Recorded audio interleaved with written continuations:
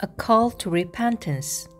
At the time, some people who were present there told him about the Galileans whose blood Pilate had mingled with the blood of their sacrifices. He said to them in reply, Do you think that because these Galileans suffered in this way, they were greater sinners than all other Galileans? By no means.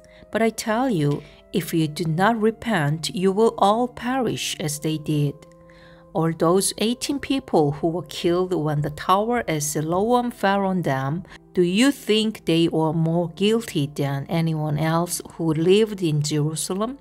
By no means. But I tell you, if you do not repent, you will all perish as they did.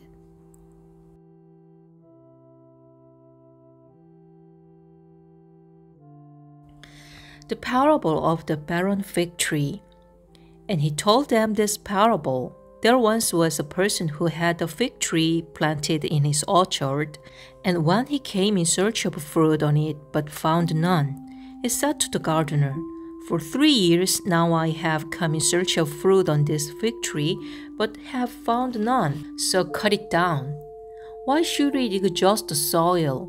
He said to him in reply, Sir, leave it for this year also, and I shall cultivate the ground around it and fertilize it.